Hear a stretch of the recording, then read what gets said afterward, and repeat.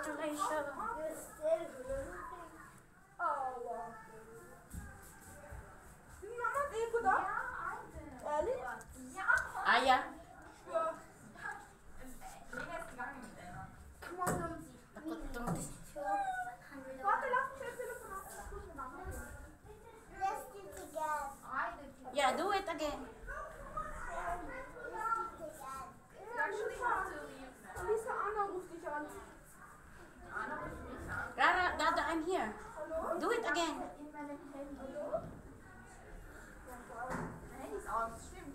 Abot tong tayo ka, guys.